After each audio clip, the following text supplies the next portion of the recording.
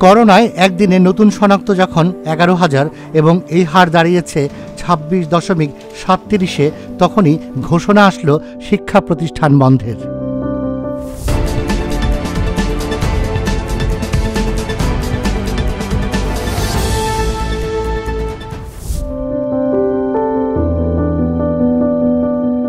Corona সংক্রমণ ঠেকাতে আগামী দুই সপ্তাহ শিক্ষা প্রতিষ্ঠান বন্ধের জরুরি নির্দেশনা দিয়েছে মন্ত্রিপরিষদ বিভাগ। এতে বলা হয়েছে, একুশে জানুয়ারি থেকে আগামী ছয়ই ফেব্রুয়ারি পর্যন্ত সব স্কুল কলেজ বন্ধ থাকবে। তবে বিশ্ববিদ্যালয়ের ক্ষেত্রে সংশ্লিষ্ট কর্তৃপক্ষ ব্যবস্থা নেবে। ঢাকা শহরের সকল হাসপাতালের বেডও দেখা যাবে যে আর খালি নাই। শুক্রবার স্বাস্থ্য অধিদপ্তরের এক অনুষ্ঠানে স্বাস্থ্যমন্ত্রী জাহিদ মালিক জানিয়েছেন, সংক্রমণের মাত্রা বেড়ে যাওয়ায় সরকার এই সিদ্ধান্ত নিয়েছে। দুই সপ্তাহ পরে পরিস্থিতি বুঝে নতুন সিদ্ধান্ত নেওয়া হবে। সকলের দাবি ছিল স্কুল খোলা।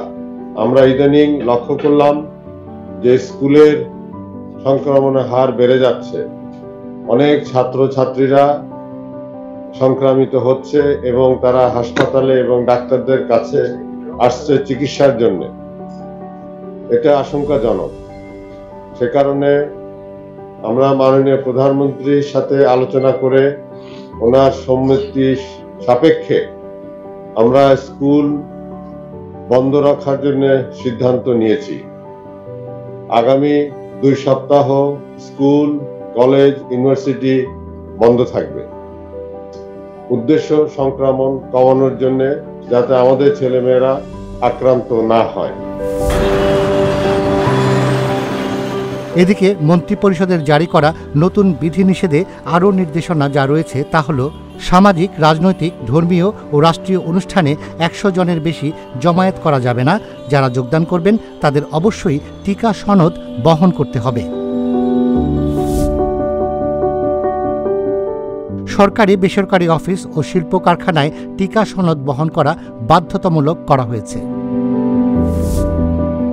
বিধিনিষেধ অনুসারে বাজার, শপিং মল, বাস স্ট্যান্ড লঞ্চঘাট রেল স্টেশন সহ সব ধরনের জনবহুল স্থানে মাস্ক পরা ও স্বাস্থ্যবিধি মানা বাধ্যতামূলক, যা স্থানীয় প্রশাসন ও আইনশৃঙ্খলা রক্ষাকারী বাহিনী মনিটর করবে।